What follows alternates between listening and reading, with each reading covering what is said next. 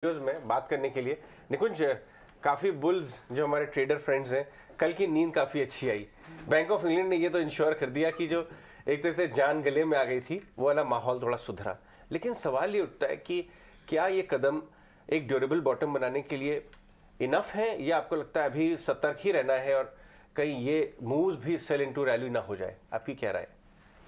अजय देखिए जो हुआ है वो एकदम मैं सरप्राइज़ नहीं हूँ। बात कर भी रहे थे कि पानी सर से नाक के ऊपर आ चुका आईब्रोज तक रीच कर चुका था तो उनको एक्ट करना ही था। हाँ। और ये टिपिकल रिएक्शन होता है कि पॉलिसी मेकर एंड में पैनिक को स्टेम करने आते हैं। हम्म। तो बैंक ऑफ़ इंग्लैंड ने स्टेम करा है। मगर कॉन्ट्रडिक्शन देखिए थोड़े दिन पहले बैंक ऑफ़ इंग्लैंड बोल रहा था जी हम इन्फ्लेशन को टारगेट करेंगे अब वो बॉन्ड यील्ड्स में इंटरवीन कर रहे हैं। तो ज़ाहिर सी बात है इस समय मेरे को लग रहा है कि इंटरवेंशन आ चुका है और इन्फ्लेशन को लेकर के जो एक प्रकार का एक युद्ध था हम्म। वह उनको उस युद्ध युद्ध रहेगा मगर अब युद्ध पे फ्रंट फुट पे नहीं रहोगे आप युद्ध पे बैक फुट पे आओगे ये मेरा मानना है। दुनिया में सबसे ज़्यादा क्राउडेड ट्रेड्स कौन सी हैं? लॉन्ग डॉलर और शॉर्ट एस एन पी पर दोनों ट्रेड क्या रिवर्स हो, चुक हो सकती हैं?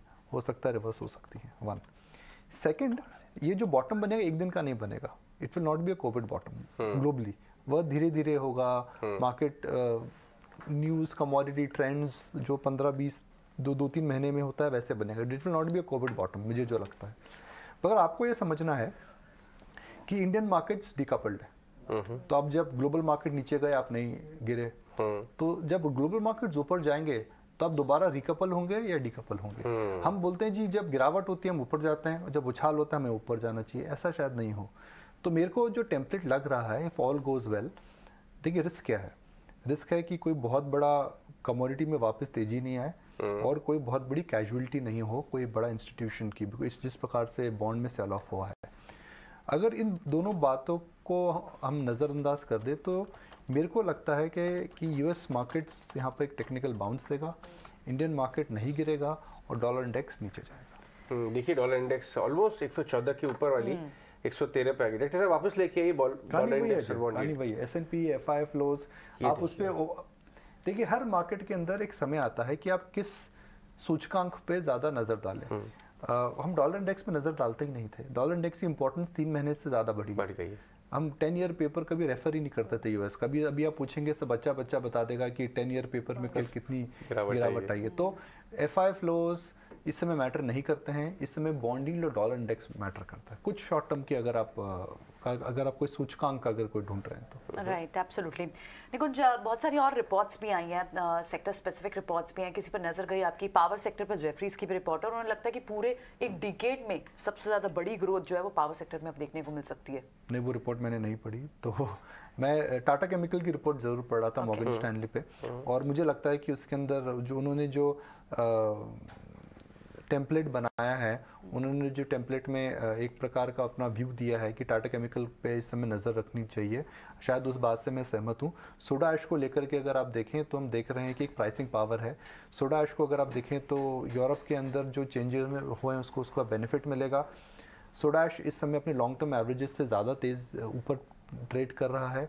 और अगर आप देखें तो टाटा केमिकल के अंदर दो बड़े बिजनेसेस हैं।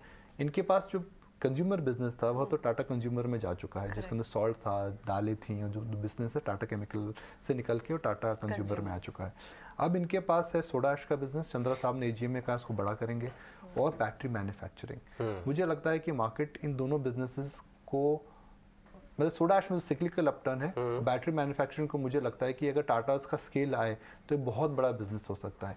ईवी का बेस्ट प्ले इस समय वही कंपनी है जिसके अंदर बैटरी मैन्युफैक्चरिंग की बैटरी मैन्युफैक्चरिंग की कैपेसिटी है हम्म। और टाटा केमिकल के अंदर वो बिज़नेस है absolutely just like chemical space ने कुछ pharma stocks are also buzzing in trade और जब uh, कुछ समय पहले आपने इस पर राय दी थी म्यूटेड एक्शन शुरू हुआ था तब आपने इसे टैप किया था अब आपकी राय लुपिन सिप्ला सन फार्मा जैसे स्टॉक्स इसके अंदर पूरे सेक्टर के अंदर देखिए क्या होता है जब मार्केट गिरता है डिफेंसिव बाय होती हम्म। है। तो इस पूरे सेक्टर के अंदर एक हॉट एयर टाइप का इस समय हम देख रहे हैं एक यू नो स्ट्रैटेजी है कि भाई मार्केट गिर रहा है डिफेंसिव में जाओ एफएमसीजी ले लो फार्मा में जाकर के छुप जाओ। ये एक अच्छी नीति नहीं है। Pharma is not a sector where you can pharma is not like a complete sector her company के अंदर अलग कंपनी में दवाई होती हैं मार्केट्स होता है प्रोडक्ट पोर्टफोलियो होता है मार्जिन होते हैं प्राइसिंग पावर होता है। Pharma is not I T pharma is not buying banks की अगर इकॉनमी ऊपर चलती है तो कोई कम बढ़ेगा कोई ज़्यादा बढ़ेगा सब बढ़ेंगे। इकॉनमी नीचे जाती है बैंक्स में सबको गिरावट सब गिरावट में आती है कोई ज़्यादा गिरता है कोई कम गिरता है। फार्मा के अंदर जो मेरी नज़र पे है वो है सिप्ला। सिप्ला क्यों मेरी नज़र पे? सिप्ला का स्टॉक का प्राइस ऑल टाइम हाई पर है। काफ़ी समय तक ये कंसोलिडेट करा था। मज़े की बात यह है कि जब स्टॉक का प्राइस ऑल टाइम हाई पर होता है तो वैल्यूशंस भी ऑल टाइम हाई पे होनी चाहिए। सिप्ला में ऐसा नहीं है। सिप्ला में प्राइस ऑल टाइम हाई पर है मगर valuation is nowhere close to what the covid peak was valuations की मैं बात करता हूँ। तो मार्केट आपको क्या बोल रहा है कि जो कोविड को लेकर के इनको जो री रेटिंग हुई थी रेमडेसिविर और उन्होंने जो दूसरी मेडिसिन बेची थी उसकी वजह से दो जब सेकेंड वेव आई थी तो सिप्ला में री रेटिंग हुई थी। उसके बाद जब थर्ड वेव आई तो सबको लगा था कि भाई जो कोविड पोर्टफोलियो है सब कंपनियों का बिकेगा। भयंकर प्रॉफिट बना था सिप्ला में खास करके रेमडेसिविर और टूसी पैम करके एक मेडिसिन थी इसके अंदर। मगर सेकंड वेव थर्ड वेव बड़ी नहीं आई ओमिक्रॉन वेव आई थी तो इन सब कंपनीज़ को कोविड में पोर्टफोलियो में लॉस हुआ था। तो उसके बाद डी रेटिंग हुई मगर अब मार्केट बोल रहा है कि सिप्ला का जो कोविड का जो साइकिल था हटा दीजिए इनका बिज़नेस देखिए। वहाँ पे नए सी एफ़ आए हैं। उमंग काफ़ी मेहनत कर रहे हैं। इंडिया में कम रहते हैं यूएस में ज़्यादा रहते हैं। यूएस स्ट्रैटेजी ठीक कर रहे हैं। इनहेलर मार्केट में इनका काफ़ी अच्छा इनकी पकड़ है। और मेरा ये मानना है कि जो अफ्रीका में इनकी जो लॉस कम लो मार्जिन बिजनेसेस हैं वहाँ पे भी सिप्ला अब शायद एक एक नज़र डाल रहा है कि भाई क्या हमें इन बिजनेसेस के अंदर इतना एनर्जी और इतना रेवेन्यू डालना चाहिए। तो मार्केट आपको बता रहा है कि फार्मा में अगर रहना तो सिप्ला में रहिए। राइट ठीक है एब्सोल्युटली बहुत बहुत शुक्रिया निकुंज ये सारी पिक्स देने के लिए और ये सारे इंसाइट्स हमारे व्यूवर्स के साथ शेयर करने के लिए। तो टाटा केमिकल्स पर नज़र रखें। सिप्ला निकुंज को काफ़ी पसंद आता है फार्मा स्पेस पर अगर बात करें तो।